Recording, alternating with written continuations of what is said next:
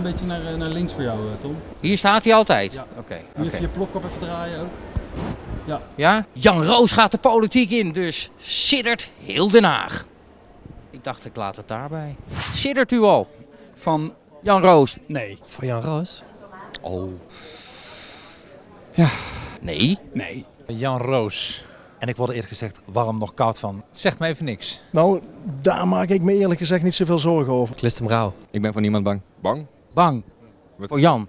Bang voor Jan? Wat een dooddoeners allemaal. Ja, ja, ja, ja. Welkom. Ja, we zijn erg blij met Jan. Hoe bereidt u zich voor op, eh, ja, op het, eh, ja, wat hoe noemen ze de bombardementen aan one-liners die u straks van Jan Roos gaat krijgen? Ja, ik ben heel benieuwd. Ik wacht het rustig af. Ontspanning. U heeft toch wel een strijdplan al klaar liggen? Nee, ontspanning lijkt me daar de basishouding.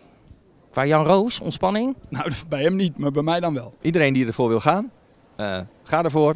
Succes, maar niet te veel, want wij hebben liever die zetels. Ja, maar ja, dat gaat ook niet echt lekker, hè? Nee, maar ja, ik bedoel, eh, eh, ik, ik denk dat het is net als met, eh, met, met, met sporten. Ik bedoel, je, bent, je hebt wel tegenstanders nodig om een leuke wedstrijd te krijgen. Ik ben heel benieuwd of hij de verantwoordelijkheid van een politicus ook aan kan. Want het is wel een ander vak dan mensen namens een website ondervragen.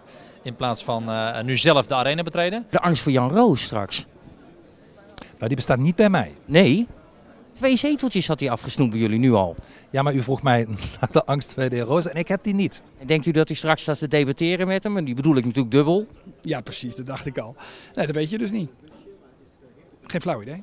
En ligt het dan aan hun zetels die ze halen of aan het gebrek aan zetels die jullie niet gaan halen? Nou, of aan de vraag of ik de lijsttrekker word van de Partij van de Arbeid. Ook daar moeten de leden nog over beslissen. Maar als hij dan zegt, eh, ja, wij worden een fatsoenlijke versie van de, van de PVV, wat zegt u dan? Dan moet er toch wel iets van een reactie bij u opkomen. Volgens mij ehm, eh, moet hij zeggen wat hij wil. Ehm, ik doe gewoon mijn ding met of zonder meneer Roos. Ik doe niks anders dan dat ik gisteren of vorige maand van plan was te gaan doen. Ik, ik heb bij hem wel een beetje het idee dat hij nog een beetje onderschat dat een politicus soms ook echt een standpunt moet innemen. En moet proberen om dat te bereiken in plaats van alleen maar je mening geven. Wat zuur. Ja, ik vind Jan Roos soms ook zuur, maar eh, ik wens hem toch heel veel succes. Maar ik begreep dat Jan de baas is ook. Jan is de politiek leider, zeker. Ja. Die zet de lijnen uit. Jij moet nu luisteren naar Jan. Nou, we overleggen natuurlijk gewoon eh, wat is... eh, wat Uiteindelijk.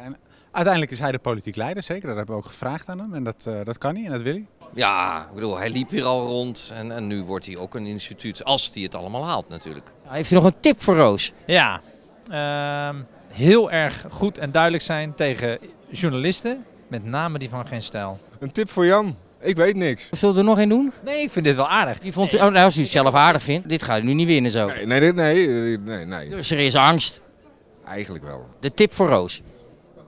Eh, genoeg water geven. Is Jan er?